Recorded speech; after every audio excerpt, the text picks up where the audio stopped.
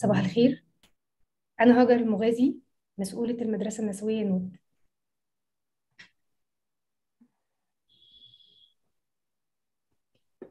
آه، في البداية إحنا حابين نشكر شبكة أورا الدولية على إتاحة الفرصة لينا آه، للمشاركة في الويبينار في, في هذا الويبينار آه، إنهاء العنف المبني على النوع الاجتماعي والتحرش في عالم العمل لأنه من القضايا اللي إحنا مهتمين بيها في مؤسسة المرأة الجديدة.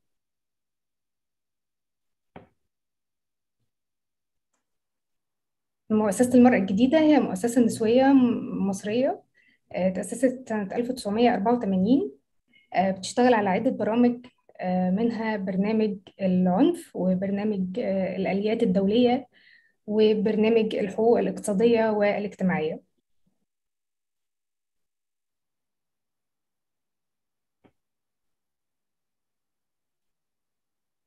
في خلال الساعة القادمة إحنا هنكون بنناقش معاكم مجموعة من الأسئلة حول العنف والتحرش في عالم العمل وإزاي ممكن نخلق تحالفات دولية وإقليمية للتصديق على اتفاقية 190 سي.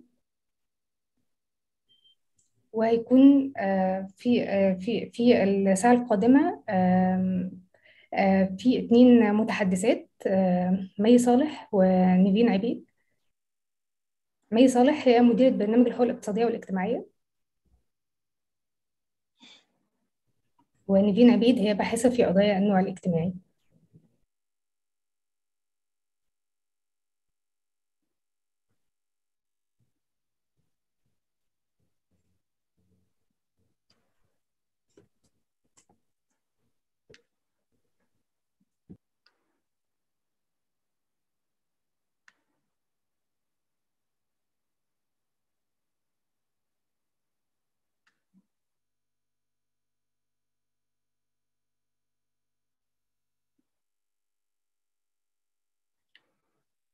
Hello, um, thank you, Hagar, and sorry for the delay on my end.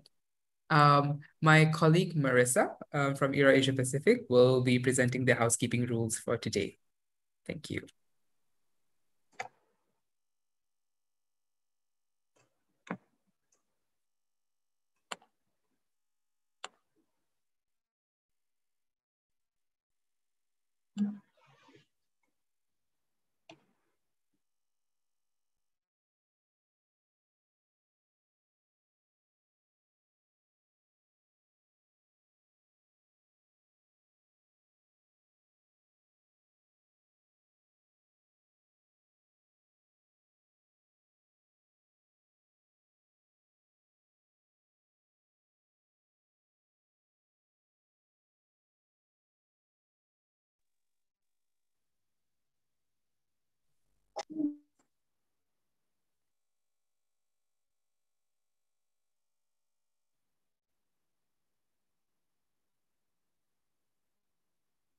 We can't hear. I don't know if I'm the only one. Sorry, Marisa, we can't hear you at all. Can you double check your microphone, please?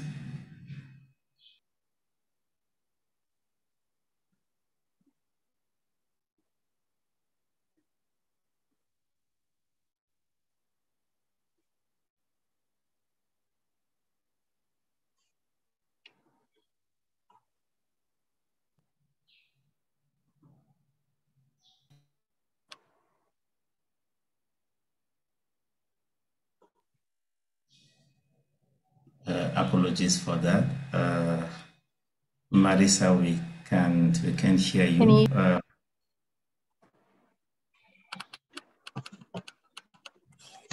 Can you hear me now? yes, we can hear you now. Ah, okay, sorry, apologies. Okay, so welcome again um, to today's CSO-led discussion. And thank you, Harger from the New Women Foundation for introducing yourself and the organization. Um, so now I would ask the tech support to put up the housekeeping slides so we can go over them before we commence the session.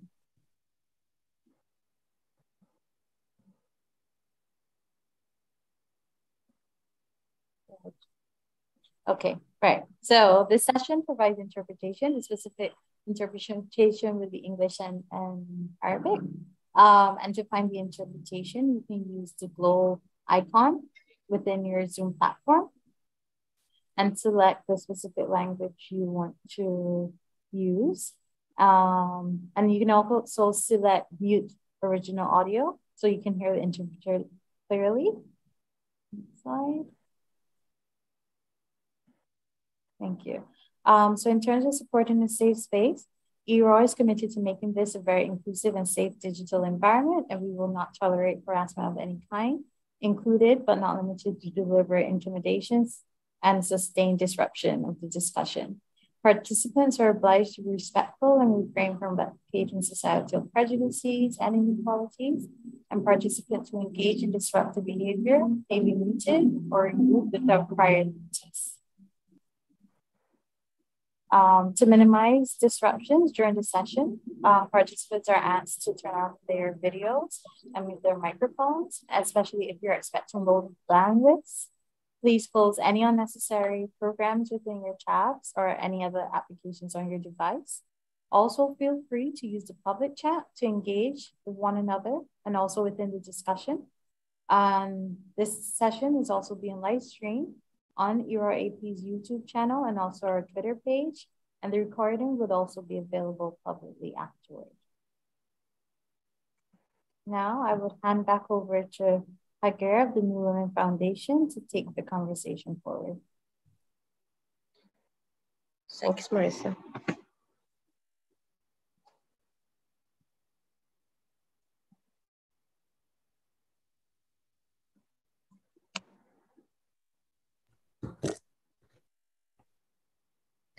صباح الخير تاني. لمدة ساعة من الوقت إحنا هنكون بنناقش مع بعض مجموعة من الأسئلة اللي بتدور حوالين ليه لازم أو لماذا يجب علينا التصدي للعنف داخل أماكن أو عالم العمل وإزاي ممكن نخلق تحالفات دولية وإقليمية للتصديق على اتفاقية 190 سي. ففي المرحلة دي هيكون معانا مي صالح باحثة في قضايا النوع الاجتماعي لمدة 15 دقيقة للتحدث حوالين هذه الموضوعات. اتفضل يا مي. شكرا هاجر. وشكرا شبكة إورا ومنتدى نساء الجنوب على الفرصة دي. أنا بس بستأذنكم إن ممكن أعمل share screen ف please ممكن ت...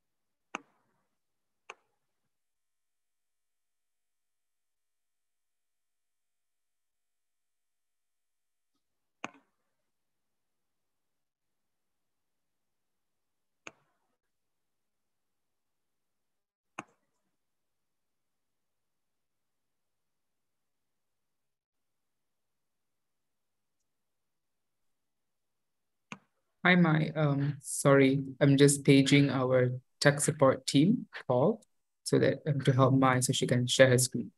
Thank you. Thanks, Okay, Paul. that has been allowed. You cannot share the screen. Thank you.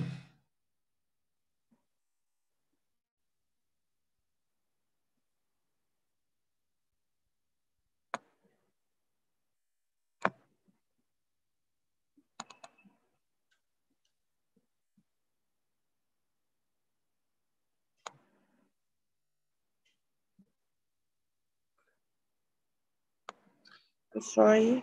Um,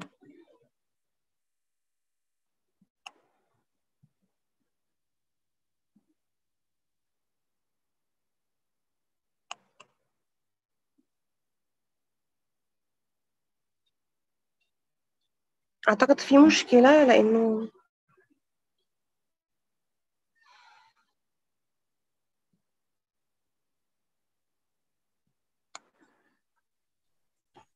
هل ال IT يا مي هيكون بيديكي آه، الإذن إنك تعملي share screen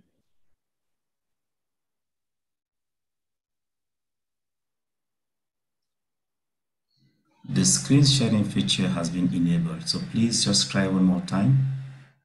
Okay.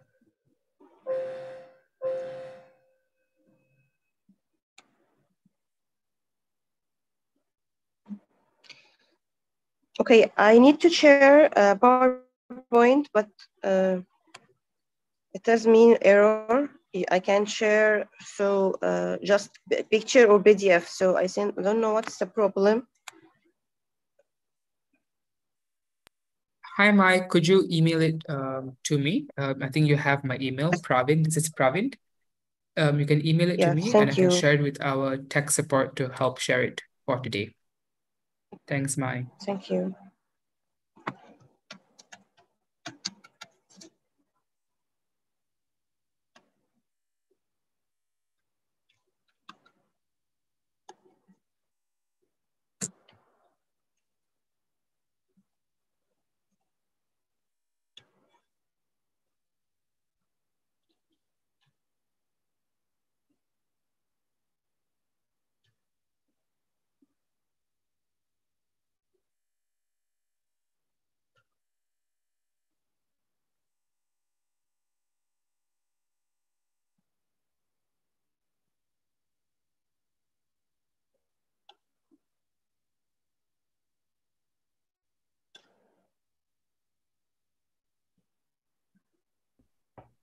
إحنا بنعتذر عن آه، ال- الوقت ده. يعني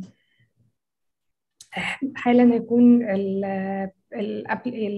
البرزنتيشن موجودة وهي هتكون بتدور حوالين آم، مجموعة من الأسئلة إنه ليه بينبغي علينا إن إحنا آه، نولي العمليات في القطاع الخاص و أهمية في Okay. You, I sent it.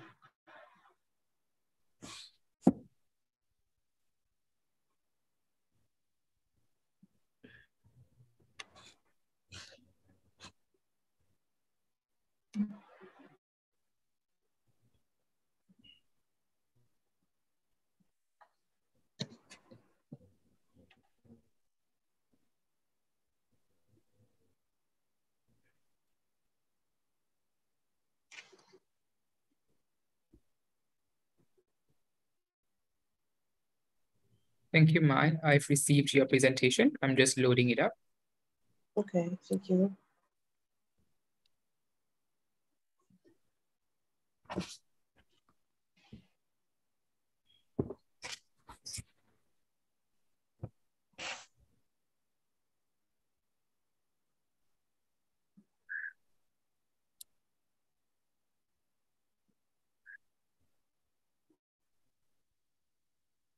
All right. Um, just trying to get us started. أوكي شكرا أم... طيب أه، الحقيقة وإحنا بنتكلم على العنف والتحرش في أم، عالم العمل أه، ولأنه أه، إحنا بنشتغل الحقيقة من عدة سنوات حول الملف ده هيفضل في سؤال منطقي وبديهي جدا بي- بيفرض نفسه على الساحة وهو سؤال لماذا يجب علينا التصدي للعنف في عالم العمل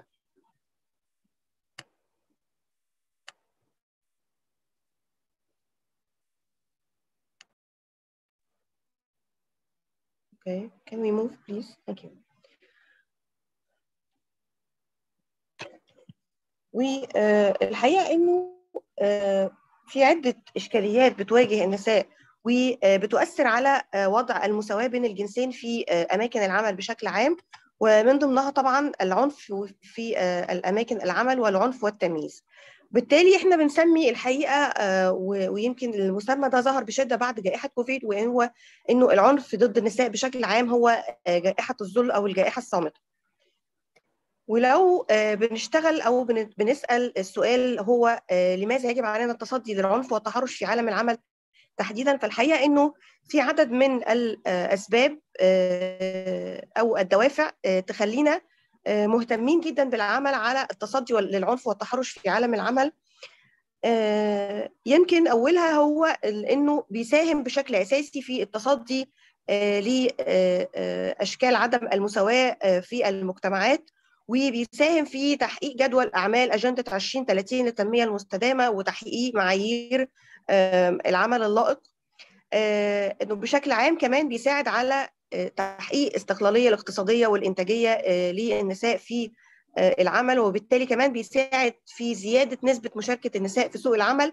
والحقيقة إنه على سبيل المثال مصر لا تزال نسبة مشاركة النساء في سوق العمل فيها أقل من 30% ودي نسبة ضئيلة جدا جدا بالنسبة للمؤشرات العالمية. وده اللي مخلي مصر ضمن العشر دول الأخيرة الحقيقة في مؤشر المساواة بين الجنسين من حيث المشاركة في الفرص الاقتصادية. التصدي للعنف أيضا. I think الترجمة مش شغالة.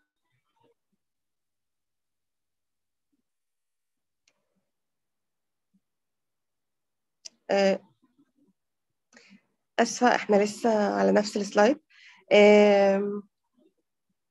التصدي للعنف كمان بيوفر كتير في معدلات الاقتصاد لأنه الحقيقة التصدي للعنف بيقلل من التكاليف الاقتصادية للعنف لأنه العنف في مكان العمل تحديدا بيكلف مليارات الدولارات سنويا سواء في مجال الرعاية الصحية أو القضايا المنظورة أمام المحاكم. وعلى سبيل المثال مثلا في استراليا المؤشرات كانت بتقول إنه العنف القائم على الجندر سوف يتكلف يكلف الاقتصاد 15 ألف دولار سنة استرالي. وإن في مصر كمان بتفقد تقريبا حوالي مليون ونص يوم عمل سنويا للنساء بسبب العنف الواقع عليهم.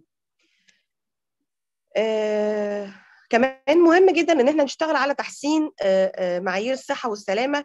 وتحسين العلاقات الاجتماعية والعلاقات الصناعية وده كله بيساعدنا في التصدي لقضايا العنف والتحرش. لو جينا بصينا على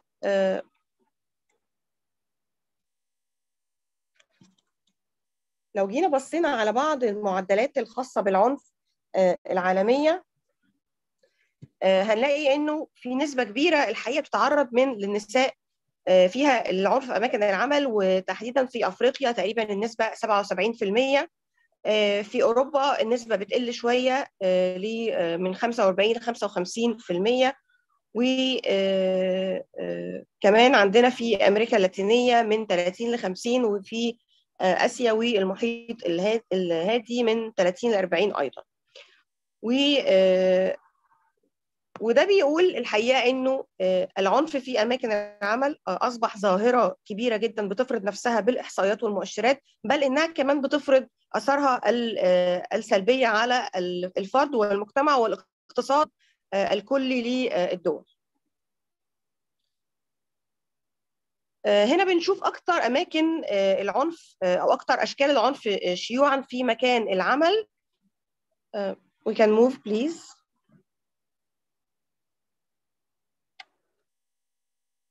Hello? Can you, next slide, please.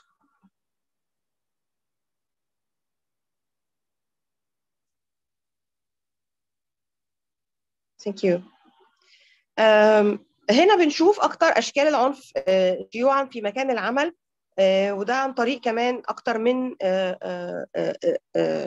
استقصاء إن العنف النفسي بشكل عام هو طبعا لأنه أكتر أشكال لأنه أكتر أشكال أو يعني هو أكتر الحاجات اللي بتأثر على النساء بالتأكيد هو الوضع النفسي. فالعنف النفسي بيشغل الحيز الأكبر يليه العنف الجنسي في أماكن العمل ثم إشكاليات التمييز التي تحدث ويليه خالص العنف البدني. من الأسئلة المهمة أيضا واللي إحنا حريصين إننا نطرحها للنقاش مع حضراتكم أيضا هي لماذا تحتاج العاملات في القطاع الخاص؟ next slide please. لماذا تحتاج العاملات في القطاع الخاص والقطاع غير المنظم؟ إلى حماية خاصة.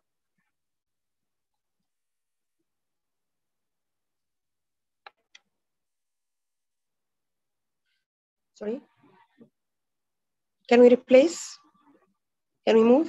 Okay thank you الحقيقة أن وضع العاملات في القطاع الخاص والقطاع غير المنظم هو وضع ذو حساسية وخصوصية شديدة جدا جدا وذلك لعدة أسباب. أولا هشاشة الوضع المهني للعاملات في القطاع الخاص والقطاع غير المنظم حيث غياب الحماية التشريعية هشاشة في التعاقدات وأحيانا كثير العمل بدون تعاقد أو بدون صياغة رسمية للحقوق الواجبة بين الطرفين. في ظل أيضا سوء الأوضاع الاقتصادية المحلية والعالمية أيضا هناك إشكالية تتعلق بضعف الوعي بالتشريعات القانونية والآليات الدولية للحماية وأيضا يظهر ذلك بشدة أيضا في قطاع غير المنظم وخصوصا إنه معظم أو يعني نسبة كبيرة من العاملين ب المستوى التعليمي ليس كافيا أو مناسبا. أيضا لدينا إشكالية متعلقة بعدم التزام أصحاب العمل بمعايير العمل اللائق وهي من التحديات الخطيرة في العمل في مجال القطاع الخاص والقطاع غير المنظم. وخصوصا أن أصحاب العمل هدفهم الرئيسي أو بغيتهم الرئيسية هي الأرباح والإنتاج على حساب الحقوق والمعايير اللائقة. أيضا تواجهنا مشكلة ضعف قدرة النقابات إن وجدت في الحقيقة في القطاع الخاص والقطاع غير المنظم على المفاوضة والتفاوض من أجل حقوق العمال.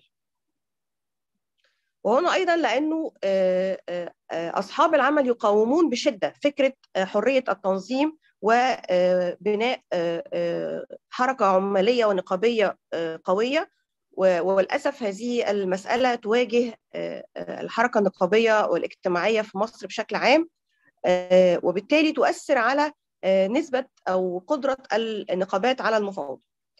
أيضا لدينا كما تحدثت غياب ضمانات الحماية القانونية والاجتماعية والحماية من العنف.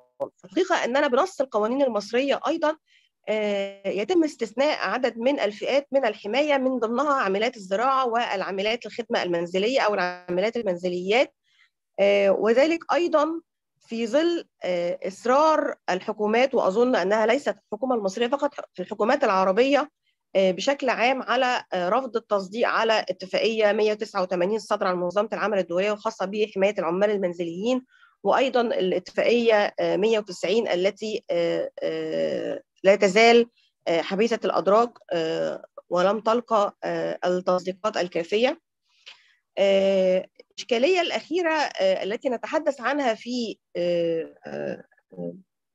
مشكلة التعامل مع القطاع الخاص والقطاع غير المنظم هي ضعف توفر المعلومات الدقيقة حول العاملات بالقطاع غير المنظم تحديدا وهناك إشكالية أيضا تتسبب فيها مسألة التسجيل والإثبات القانوني للمهنة داخل بطاقات الرقم القومي وبالتالي يصعب حصر هذه العمالة ويصعب بالتالي الوصول لها وأيضا يصعب تنظيمها داخل روابط ونقابات.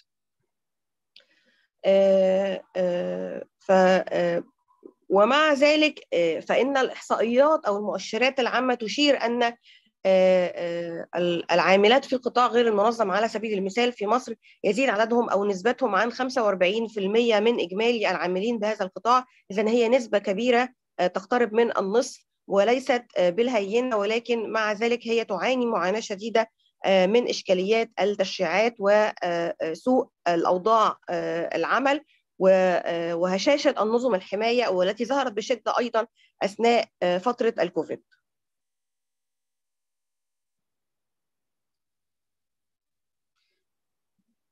Uh, next slide, please. Thank you. Uh, في هذا الرسم التوضيحي uh, حاولنا أيضا رصد مرتكبي العنف في أماكن العمل وبالتالي يظهر بشدة أن المدير المباشر أو المشرف المباشر في أماكن العمل يحتل النسبة الأكبر من حالات ارتكاب العنف نظرا ل يعني احتكاكه وارتباطه بالعاملات في العمل لمدة طويلة وعن قرب. يلي ذلك زميل في نفس المستوى الوظيفي هو من يرتكب العنف بشكل كبير ثم يتساوى في تقريبا يتساوى في النسب أن يحدث ذلك زميل في مستوى وظيفي أقل من العاملة أو شخص آخر كعميل بيتعامل مع مكان العمل. وهنا يبرز أيضا دور اتفاقية منظمة العمل رقم 190 للحماية من العنف والتحرش في عالم العمل لأنها تناولت جميع القطاعات الجغرافية ل للحماية من العنف سواء حدث في مكان العمل أو في أماكن التدريبات والمؤتمرات سواء حدث من الزملاء المسجلين في العمل أو حدث من عميل خارجي اللي هو ما يسمى بالطرف الثالث أو الطرف الآخر أو ما يسمى أيضا بالمتدربين والمتطوعين في أماكن العمل وبالتالي وسع ذلك من نطاق الحماية من العنف داخل أماكن العمل. نأتي هنا لدور التحالفات الإقليمية next slide please والحقيقة أن الاتحادات الدولية العمالية سواء الدولية أو الإقليمية والاتحاد الدولي للنقابات لهم دور كبير في التصدي للعنف وطرح بدائل للحماية من العنف وتبني البنود والحقوق التي وردت في الاتفاقية. وبالتالي إذا أردنا أن نقيم تحالفات و ومجموعات عمل دولية فأظن أن أصحاب المصلحة الرئيسية في مثل هذه الحالة وهي الاتحادات الدولية والنقابات والتي هي على رأس القائمة للدفاع والتصدي لأشكال العنف ضد النساء. وبالتالي يجب علينا Can we move the, the slide, please?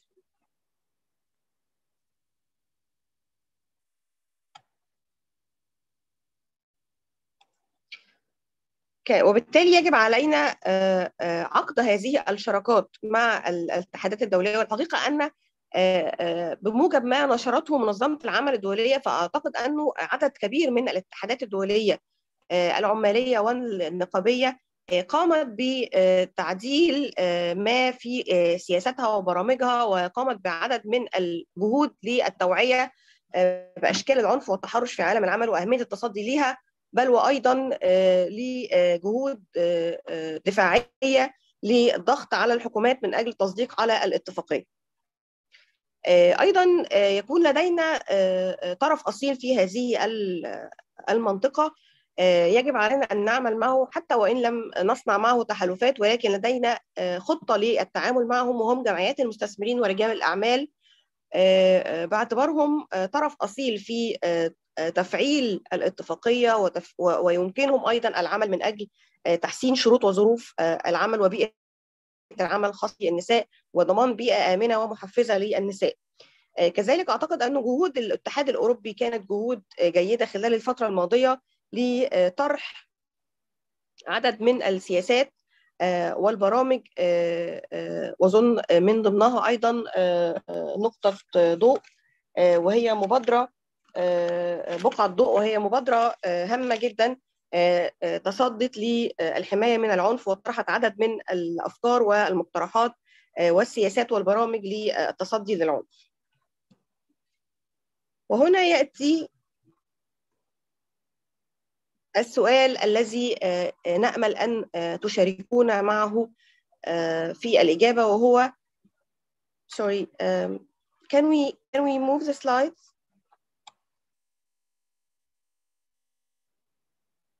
hello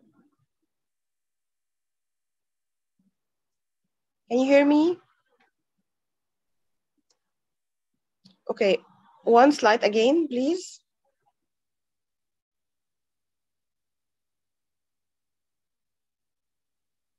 one again. Thank you very much. Uh, السؤال الذي يطرح نفسه هنا uh, للعمل من أجل uh, التصدي للعنف والتحرش في عالم العمل وهو كيف يمكننا العمل معا من أجل التصدي الحقيقة أنه بادئ ذي بدء وليس لدينا أي حلول أخرى وهي الضغط من أجل التصديق على الاتفاقية 190 سي وبالتالي لابد من العمل على المستوى المحلي والوطني والقومي والإقليمي والدولي لأن الاتفاقية هي المرجعية الأساسية المتاحة الآن التي سوف يترتب على التصديق عليها تغيير السياسات الوطنية والمحلية في البلدان المختلفة وبالتالي سوف يترتب عليها تحسين شروط وظروف العمل الاتفاقية 190 سي والتوصية 206 الملحقة بها هم أهم وثيقتان الآن متاحة على الصعيد العالمي بالإضافة ل Sorry, um, hi, apologies to the interpreters, to the English inter um, to interpreters. We're hearing two voices on the channel. Um, just letting the both of you know. We're hearing two people speak at the same time. Thank you. Okay, thank you. آه، أوكي آه، إذا بناء على التصديق على الاتفاقية آه، آه، يتم وضع تعريف أكثر محدد لما يمكن أن يعتبر عنفا قائما على ال- الجندر في مكان العمل يمكننا أيضا إعطاء توجيهات واضحة لأرباب العمل والعمال فيما يتعلق بمسؤولياتهم لمنع العنف القائم على النوع الاجتماعي في أماكن العمل والتصدي آه، له. آه، أيضا مساعدة أرباب العمل في صياغة سياسات مصممة آه، جيدة للموارد البشرية تحتوي على إجراءات واضحة آه، للتصدي للعنف القائم على النوع الاجتماعي بما في ذلك أثر العنف المنزلي على أماكن العمل وهو أيضا ما آه، الاتفاقية آه، وهو أيضا يعد طفرة مختلفة للتعامل والتعاطي مع قضايا العنف. مساعدة أرباب العمل على وضع إجراء- إجراءات واضحة للإبلاغ عن المظالم والشكاوى آه، وحماية الشهود والمبلغين وضمان آه، حماية تحقيقات آه، عادلة. آه، أيضا تقديم آه، آه، التوجيهات آه، بشأن آه، الشكاوى والتعاطي معها. كذلك آه، تحديد أفضل آه، لمسؤولية أرباب العمل آه، آه، عن العنف آه، وتعزيز مفهوم المسؤولية الاجتماعية للشركات. آه، وهنا آه، لابد من العمل على المسؤولية الاجتماعية للشركات ليس فقط من مقاربة خدمية بل إنها لا- لابد أن تنبع من مقاربة حقوقية ومقاربة تمكينية ترى في المسؤولية الاجتماعية جزء يتعلق بالمسؤولية الداخلية عن العاملين وبالمسؤولية الخارجية المتعلقة بمسؤولية تجاه المجتمع وبالتالي مسؤولية داخل العمل المتعلقة بالعاملين هي المسؤولية عن تعزيز معايير العمل اللائق وأيضا الحماية من العنف ووضع سياسات وضوابط آه، صارمة لهذا آه، آه، كذلك خلق ثقافة في مكان العمل بمعنى أنه لا يتم التغاضي أو آه، التعاطف آه، آه، أبدا مع آه، آه، العنف الجنسي. كذلك من الإشكاليات المهمة جدا أو الحلول المهمة جدا هي تعزيز دور النقابات والاتحادات العمالية في التصدي للعنف وتبني المعايير التي كفلتها الاتفاقية آه، 190 آه، تحسين السلامة في العمل والحد من الخسائر الاقتصادية الناجمة عن العنف آه، آه، القائم على النوع. وكذلك آه، آه، التأكيد على أن التصدي للعنف هو معيار أساسي من معايير الصحة والسلامة المهنية. أيضا الحد من المخاطر الدعاية السيئة والأضرار التي تلحق بالسمعة آه، بسبب حوادث العنف القائم على آه، الجندر آه، آه، آه، اهتمامنا بتوجيه عدد من ال- الجهود لأرباب العمل هو جزء مقصود تماما لأنه آه، كما سبق آه، آه، أرباب العمل هم أكثر آه، الأطراف آه، مقاومة للتصديق على الاتفاقية نظرا لأنه آه، آه، آه، هدفهم الرئيسي ليس حماية العاملات أو العاملين من العنف ولكن هدفهم الرئيس- الرئيسي هو تحقيق الأرباح وبالتالي آه، آه، لابد من الضغط أو آه، توجيه الإشارة إلى أنه آه، الح- الحماية من العنف هي أيضا تقليل للنفقات التي آه، آه، قد يضطر لدفعها آه، أرباب العمل نتيجة انتشار ظواهر العنف وبالتالي يصبح المجتمع أكثر آه، أمنا للنساء. تأكيد أيضا مرة أخرى على دور النقابات وأهمية دور النقابات وأهمية أن تتاح حماية للعاملين بالنقابات والعاملات بالنقابات.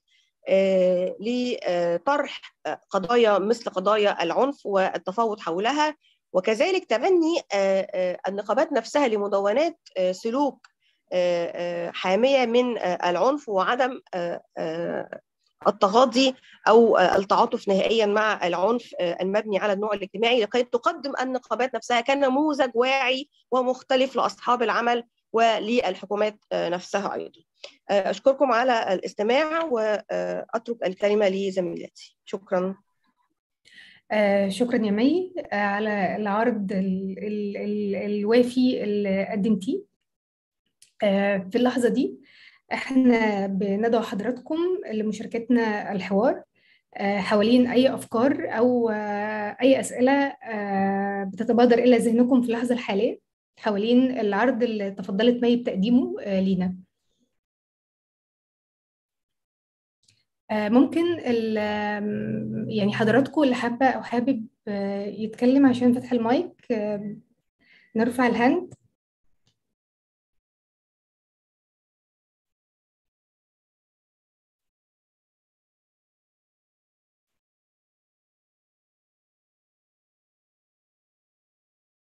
بس أنا أظن إنه نيفين كانت بتحاول تدخل آه okay آه. هل نيفين هتقدر تكون معانا في في اللحظة دي يا مي؟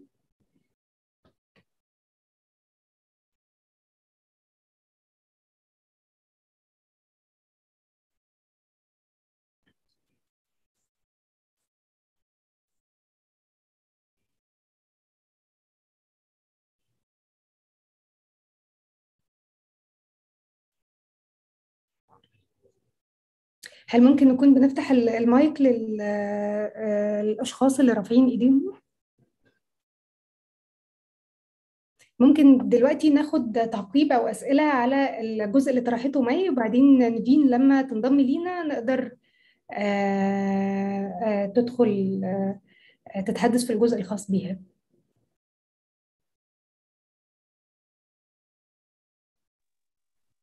Hello, can I ask, is, can I just started off.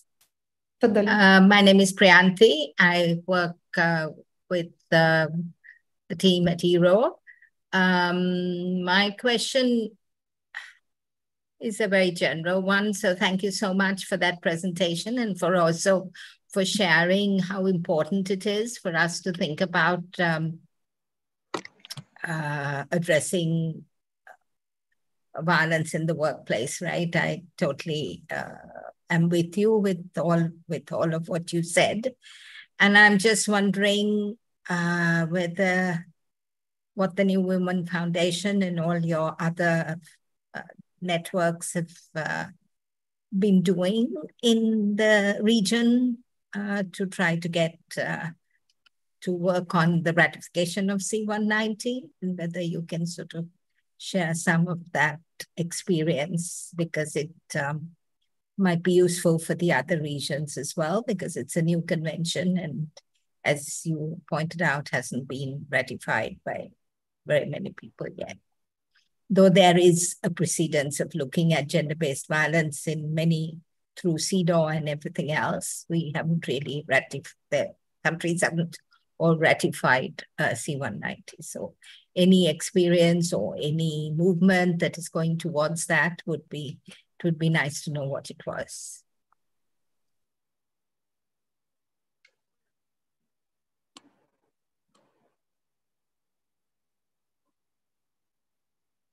Thank you.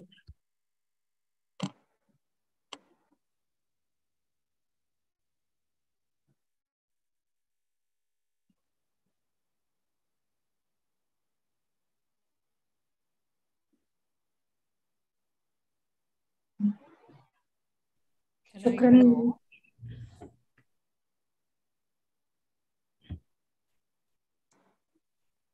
Shukran Hazel, he needs to talk. Hazel. Okay. Um, thank you. Thank you very much for the presentation. I have a question, and it's in regards to getting, you know, women that are in the informal sector uh, towards involving. So my question is, how do we get the women that are working in the informal sector um, involved in the movements towards uh, ratifying ILO C190? Because when you look at the convention in itself, the protections offered are very wide uh, in terms of encompassing what most um, most regulations do not most regulations do not cover. So how do we get uh, women that are working in the informal sector, women that are not ordinarily protected by the employment laws, so people like domestic workers, uh, women street vendors, involved um, in the movement or in the struggle towards advocating for the ratification and the adoption of C190 in the national laws. Hello, good morning. Um, my name is Rosalind from Nigeria. I work with um, 18 Bono Gender Concerns Foundation. Thank you so much, Maya, for today's presentation. Thank you for teaching us on how to be able to set modalities to um, protect women in the workspace. But I have a question.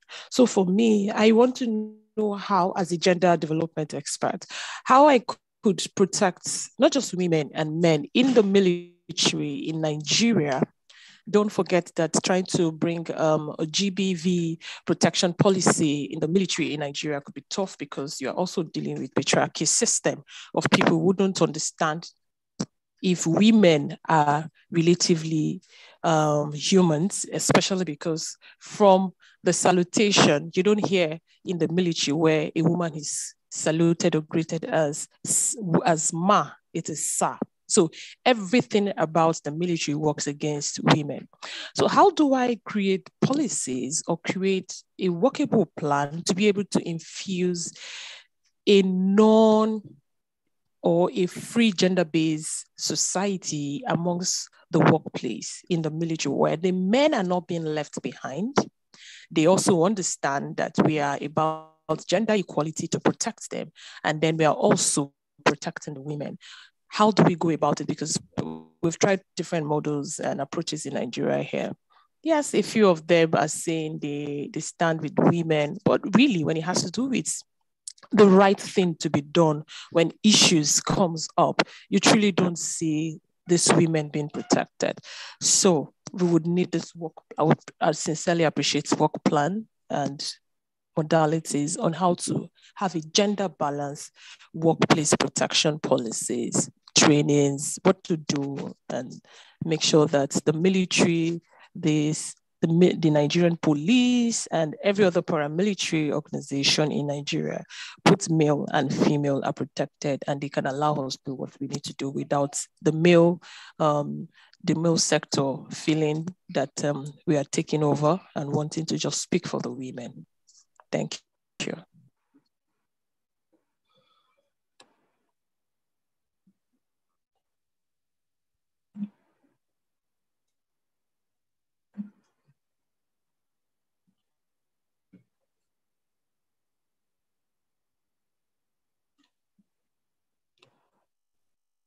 نظمة اتفضلي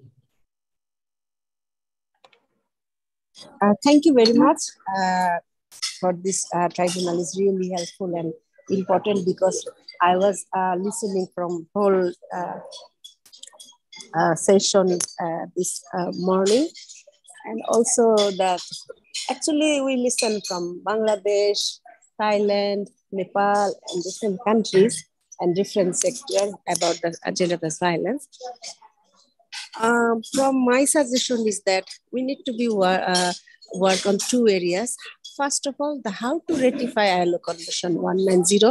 So wall of work is very important. If any countries ratify, it's a legal binding, then we can put pressure to our government and also supply chain who are the accountable from the brand and others producing in our uh, country and different countries. Also, another thing like Bangladesh, we don't have the sexual harassment abuse law. So most of the time, the denying and ignoring the women's are abusing harassment. So these are the area how we have to uh, take some action plan from through our tribunal and campaign through the different country as well as ILO and different uh, European Union or UN bodies. How can we work on this area as a um, social uh, civil society, trade union, even different activists. Because this morning also I found very painful when the Thai sex workers are abused by the um, police and that uh, broker man, how they play game and take the money and they are day by day is going to be uh, victimized and also it's not only the physically also financially and everywhere. So the ILO convention 190 is must need to be uh, uh, ratified we need to be work on that. And which country has not law also need to work on this from this uh, tribunal we can take some action plan from this. Thank you very much.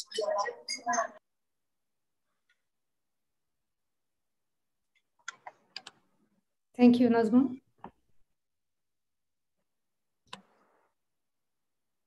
أنا مش شايفة أي إيد تانية مرفوعة فهل في حد من حضراتكم آه في سؤال أو فكرة آه حابين نطرحها للنقاش في الجزء ده؟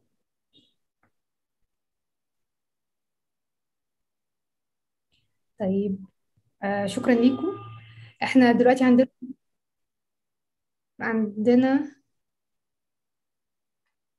مجموعة كبيرة من الأسئلة والأفكار ال- ال- الكبيرة اللي حضراتكم آه، طرحتوها في العشر دقايق اللي فاتت. مي هتتفضل بمناقشة آه، ال- ال- الأفكار والأسئلة اللي حضراتكم طرحتوها. جاهزة يا مي؟ شكرا يا هاجر. شكرا لكل المداخلات والأسئلة والأفكار اللي اتطرحت والحقيقة يعني أنا بجتهد مع حضراتكم للإجابة عليها لأنه أم، أم، إحنا كلنا عارفين إنه آه، تغيير آه، ال- الثقافي آه، خصوصا في قضايا المساواة بين الجنسين والحماية من العنف آه، المبني على النوع الاجتماعي هي آه، خطوات طويلة المدى آه، وليست آه، بالسهلة وبالتالي آه، تحتاج لجهود آه، كبيرة. آه، حتى إذا تم التصديق على الاتفاقية فليس مؤشرا على إنهاء آه، العنف آه، ولكنها خطوة على الطريق آه، وهي خطوة مهمة آه، لوجود مرجعية دولية. آه، بالنسبة لي السؤال المتعلق بخبرات المرأة الجديدة أو آه، يعني عملنا إيه فيما يتعلق بالحماية من العنف والتصدي ليه وأيضا التصديق على الاتفاقية الحقيقة إحنا بنشتغل من عدد من السنين مع مجموعة من النشطات في المجتمع المدني وأيضا النقابيين والنقابيات للتصدي للعنف في أماكن العمل وتبني معايير آه، آه، آه، أكثر عدالة ومعايير أكثر انضباطا للحماية من العنف وبالتالي خلال السنوات الأخيرة وبعد آه، صدور الاتفاقية في 2019 بقى أصبح لدينا تركيز أكثر على التوعية بالاتفاقية والبنود والحقوق التي وردت فيها. وأيضا آه، آه، العمل من أجل التصدي آه، آه، آه، للعنف والتصديق على الاتفاقية وبالتالي لدينا حملة آه، موسعة على المستوى ال- آه، الوطني آه، يشارك فيها عدد من المؤسسات والنقابات. المختلفة آه، وأيضا آه، آه، نشارك مع بعض المجموعات الدولية ومع بعض الشبكات ال- التي لنا عضوية فيها مثل الشبكة العالمية للحقوق الاقتصادية والاجتماعية أيضا لدعم جهود ضغط من أجل التصديق على الاتفاقية. وتحديدا أصبح لدينا في آه، حملة 16 يوم الدولية لإنهاء العنف آه، آه، مراسم سنوية آه، ومناسبات سنوية أيضا للحديث عن آه، الاتفاقية والتصدي للعنف أيضا كان لدينا برنامج للمسؤولية الاجتماعية للشركات وبالتالي تم العمل من خلاله على عدد كبير من الشركات المصرية. لتوجيه رؤية المسؤولية الاجتماعية داخل الشركات نحو الحماية من العنف وسياسات الحماية من العنف. وبالتالي كان لدينا عدد من الأنشطة والإصدارات المتعلقة بهذا الأمر أيضا المرأة الجديدة تنسق أو تدير مجموعة عمل وطنية من أجل إصدار قانون موحد للعنف ضد النساء وبالتالي يشمل أيضا القانون الحماية من العنف داخل أماكن العمل ولكن بالتأكيد تواجهنا مشكلة هي غياب كل التشريعات المصرية أو غياب التشريعات المصرية المتعلقة بالحماية من العنف تحديدا داخل العمل. قد يكون قانون العقوبات بيتناول العنف بشكل عام أما العنف المتعلق بالعمل فهو تقريبا غائب عن الساحة التشريعية. حتى في خلال مناقشات قانون العمل الحالي لا يتم ابدا مناقشة مسألة الحماية من العنف. أيضا حتى في استراتيجية المجلس القومي للمرأة أو التي تناولت استراتيجية تمكين المرأة والتي تناولت بعد التمكين الاقتصادي كما تناولت بعد الحماية من العنف أيضا لم يتم إدراج الحماية من العنف في أماكن العمل بشكل واضح وصريح أو إتاحة الحديث حول عقوبات أماكن العمل التي لا تتبنى معايير السلامة والصحة المهنية ومعايير الحماية من العنف وهي إشكالية أيضا نعمل عليها الآن. المشكلة المتعلقة أو السؤال المتعلق بالعماله الغير منظمة وهي طبعا إشكالية خطيرة تواجهنا وخصوصا أننا كان لدينا عمل طويل مع عاملات المنازل والعاملات في الزراعة البحتة لأنهم مستثنيات من الحماية بموجب القانون. وكان هدفنا الأساسي هو إتاحة تسجيلهم في السجلات الرسمية وإضافة كلمة عاملة منزلية أو عاملة بالزراعة إلى بطاقة الهوية أو الرقم القومي. وهو ما كان أيضا به مشكلة في التسجيل من من زاوية والزاويه الأخرى متعلق بعدم رغبة العاملات أنفسهن لتوثيق هذا العمل في بطاقة الهوية نظرا للنظرة المجتمعية المتدنية لهذه الفئات في العمل. أيضا لدينا إشكاليات مع بعض العاملات بالجنس التجاري وهم أيضا من العاملات التي تحتاج بشدة للحماية من هذه الاتفاقية أيضا لأنهن يتعرضن بشكل كبير جدا للانتهاكات الجنسية دون حماية وهن أيضا لا يزالوا لا يرغبون في إبداء أو تسجيل مهنتهن في البطاقة نظرا أيضا للنظرة المجتمعية والنظرة القانونية أيضا لهذا المسألة. فإذا كان هدفنا الرئيسي هو أن يتم إثباتهم في السجلات الرسمية ومن ثم يمكننا حصر عددهم أو أو التعامل معهم بشكل واضح ولكن ما يساعدنا هو أننا نعمل على التواصل مع بعض الروابط الخاصة بهن في المحافظات المختلفة وبعض النقابات حتى وإن كانت نقابات مستقلة وغير مسجلة ولكن يمكننا التواصل عن طريقهم وبالتالي التعبير عن أصواتهن وطرح القضايا الملحة. فيما يتعلق بمسألة وضع المجتمع وحسب ما فهمت من السؤال وهو مجتمع يعني أبوي بالأساس وبالتالي هو هو أيضا مجتمع متعايش مع العنف ومتقبله ومتواطئ معه بشكل كبير وخصوصا العنف الموجه إلى النساء. وبالتالي بالتأكيد نجد صعوبة وكما ذكرت في بداية التعقيب أن حتى تغيير القوانين وتغيير التشريعات لا يعني بالضرورة ضمانه حماية النساء لأنه مع الأسف هذا المجتمع يتبنى نظرة ذكورية بحتة. ويتعامل بمنطق الوصاية الأبوية على أجساد النساء وبالتالي يتعامل بمنتهى الأريحية والاستجابة مع قضايا العنف. وإذا أيضا أضفنا إلى ذلك أن معظم أصحاب الأعمال وأصحاب الشركات الكبرى هم أيضا من الرجال ومعظم حتى من هم على رأس النقابات نفسها هم أيضا من الرجال وبالتالي تصبح المعركة أكثر صعوبة. ولكننا نراهن الآن على ما يعمل عليه معظم التوجهات العالمية وهي فكرة تعزيز منطق الرجولة الإيجابية أو الذكورة الإيجابية في مواجهة الذكورة السامة والسلبية. وهي إشراك الرجال في مواجهة العنف وهي المدرسة الأكثر نضجا الحقيقة. باعتبارهم ليسوا معنفين بل إنهم أيضا سوف يكونوا شركاء في وقف هذا العنف الذي خلفته ثقافة أبوية وذكورية بالضرورة. أظن أيضا أن السؤال المتعلق بمسألة التصديق على الاتفاقية هي أيضا مسألة مهمة. وأظن أنه منظمة العمل الدولية تدفع بشكل كبير جدا على مستوى الاتحادات الدولية والاتحادات العمالية وعلى مستوى الحكومات تدفع بقدر ما كبير للضغط على الحكومات وتحسين ظروف وشروط العمل وبيئة العمل وبالتالي التصديق على الاتفاقية. المنظمة أيضا تدفع بجهود كبيرة لتوفير مواد تدريبية وعلمية لمنظمات المجتمع المدني والنقابات وتدريب عدد كبير منهم الحقيقة على التوعية بالبنود والحقوق الواردة في الاتفاقية. وأيضا الضغط من أجل تطبيقها. فأظن أن أيضا دور المنظمة هو دور واعي جدا. ولذلك أعتقد أن ما يتبقى هو دور المجتمع المدني بشكل أساسي والمجتمع المدني بطرفيه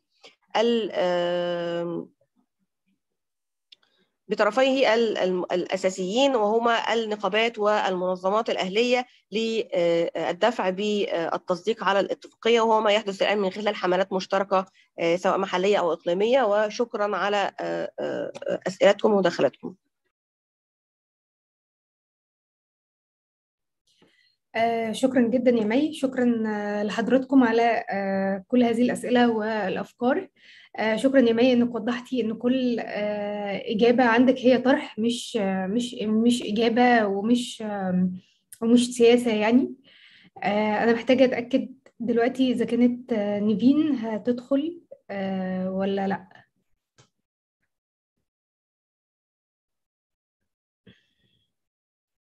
مي. أنا بحاول أكلمها بس واضح إنه يعني الاتصال مش بيكتمل. آه طيب. في خلال الساعة اللي فاتت أنا آه في, اللحظة دي هقوم آه بتلخيص آه كل الأفكار وال والموضوعات اللي تم طرحها. في خلال الساعة اللي فاتت مي عرضت بعض الأفكار الخاصة ب إزاي ممكن كمنظمات وكتحالفات نشتغل على التصدي للعنف والتحرش في عالم العمل. واستعرضت بعض معدلات العنف في أماكن العمل. في العالم. واللي اتضح منها اتساع ظاهرة العنف في كل مكان في العالم تقريبا في كل القارات. آه وكان في استعراض آه كبير جدا لأكثر أشكال العنف شيوعا. آه كان على رأس أشكال العنف الأكثر شيوع هو العنف النفسي ثم الجنسي والتمييز بين الجنسين فالعنف الجسدي. كان في سؤال كبير جدا وده كمان من الأسئلة اللي حضراتكم تشابكتوا معاها في أسئلتكم وفي طرح الأفكار. ليه العاملات أو لماذا العاملات في القطاع الخاص والقطاع الغير منظم تحتاج إلى حماية خاصة؟ وكان في نقاش أو حوار بأفكار طرحت من مي في البداية ثم حضراتكم عقبتم ببعض الأفكار ثم مي ناقشت بعض هذه الأفكار في النهاية. ثم كان في جزء آخر عن رصد لمرتكبي العنف في أماكن العمل. مين هم الأشخاص؟ الاكثر ارتكاب العنف في أماكن العمل. آه وتطرقت مي في اللحظة دي آه أو في الوقت ده وهي بتناقش أماكن العمل آه إلى لفظة عالم العمل. وإنه إزاي هو كل الأماكن المحيطة بأماكن العمل. إنه مش بس مكان العمل إحنا كنا أو بنتصوره من لما نقول أماكن العمل. كان في كلام أو نقاش عن دور التحالفات الدولية والإقليمية والمنظمات المحلية في في التصديق على اتفاقية 190 سي. وكان في أسئلة مهمة جدا من حضراتكم حوالين الخبرات السابقة للمنظمات في المجال ده في التصديق على الاتفاقيات بشكل عام وفي العمل الحالي على التصديق على الاتفاقية 190 سي.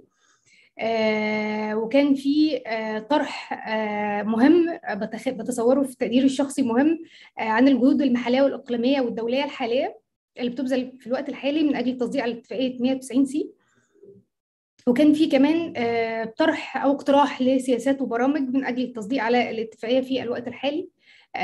من تفعيل لدور النقابات على سبيل المثال من خلق ثقافة تناهض العنف في عالم العمل من الضغط على الحكومات ومن توحيد الجهود وإلى ما غير ذلك. وكان في سؤال عريض كده إزاي إحنا يمكننا التصدي أو العمل معا؟ إزاي إحنا كمنظمات وشبكات وجهود مدنية يعني في المشاركة المدنية إزاي إحنا ممكن نعمل معا من أجل التصدي للعنف والتحرش في عالم العمل. فدي كانت أبرز العناوين أو الموضوعات اللي تم التطرق ليها في الساعة الماضية. إحنا بنشكر حضراتكم على الأفكار والموضوعات المهمة وبعض ال... أنا كنت طول الوقت بدون بعض الملاحظات من كلام حضراتكم وكانت مهمة وثمينه للغاية. بشكرك جدا يا مي على ال presentation اللي تقدمتي بيها. وبشكر الشبكة على الفرصة الطيبة. في حد في حد رفع إيديه ف اتفضلي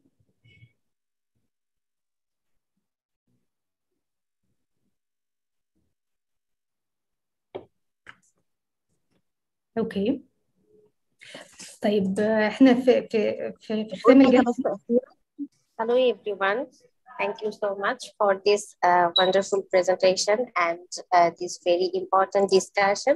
My name is Thomas Tridas. Uh, I have been working in Awaz Foundation and uh, if uh, I want to add something uh, from our context, from Bangladesh's context, uh, we have already heard uh, some stories from Bangladesh this morning. And uh, from our experience, we can share that uh, gender-based violence, sexual harassment, these issues in the workplace and everywhere is so acute and addressed in so many different ways. Uh, like we can uh, we can often see victim blaming we can often see uh, management people remaining silent or taking action in favor of the perpetrator. And most importantly the gap and the lacking we feel to address this issue mostly is the gap in policies and laws. So in this context, it is very important to, to ratify ILO Convention 190 because as we have been working uh, for a long time with the uh, gender issues and gender-based violence issues, we have seen, seen so many patterns, so many types, and uh, so many things that it, it the ILO Convention 190 is the only uh, strong tool which can um, which can uh, help us help the countries eradicate this issue from everywhere as it uh, says strongly and talks about the world of work which means a lot of things which allows the workers and women uh, of different sector to raise their voices in so many ways. So from our uh, point, we, we have been working with different uh, stakeholders. We have been raising awareness and capacity building in the factory level at their workplaces so that uh, we, we think that if the workers themselves can raise their voice and raise the demand and understand the importance of ILO Convention 190, this would be the uh, most important uh, place to make the stakeholders and government to ratify this important convention. And we, we have we have great response uh, from different sectors and uh, thanks to thanks to IRO and thanks to this Global Tribunal, where we uh, have this chance to share once again the, uh, the important and uh, uh, very powerful testimonies from our witnesses and thank, special thanks to them uh, who agreed to share their testimonies with uh, us and uh, we can uh, share our insights and be enlightened about so many things. Thank you.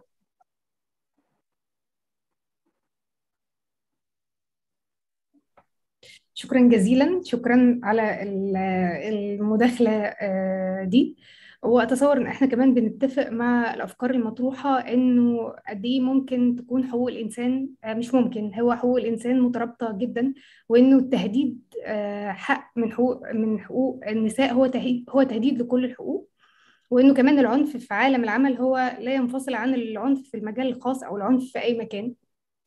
فقد إيه هي الموضوعات مترابطة آه، بشكل كبير. ممكن أقول حاجة يا هاجر؟ اتفضلي يا مي. بس أنا باكد إنه آه، شاركت مع حضراتكم فيديو إحنا آه، عاملينه في إطار حمله التصديق على الاتفاقية للتعريف آه، بالاتفاقية أو يعني تلخيص أهم البنود الواردة فيها هو مترجم بالعربية والإنجليزية. آه عايزة أقول إن إحنا كمان أطلقنا عريضة آه بعد إصدار الفيديو في آه ذكرى إصدار الاتفاقية في يونيو 2019 وأطلقنا وثيقة أو عريضة للتصديق على أو الاتفاقيه من جموع المواطنين والمواطنات والمهتمين والتوقيع الإلكتروني وبالتالي سوف نتوجه بالتوقيعات للحكومة والبرلمان للمطالبة بالتصديق على الاتفاقية. وشكرا جدا وبعتذر عن آه، غياب آه، زميلتي آه، نيفين لظروف طارئة شكرا جدا وشكرا يا هاجر شكرا لإورا وكل المنسقين للدعم اللوجستي والفني آه شكرا يا مي. آه أنا حابة المرة الأخيرة أشكر حضراتكم. أنا اتشرفت جدا إن أنا كنت معاكم كنت بسمع كل الأفكار والمداخلات المهمة. آه، حابة أشكر شبكة أورا الدولية على إتاحة الفرصة لينا للمشاركة في في, هذا الويبينار المهم. آه، وشكرا جزيلا. شكرا يا مي.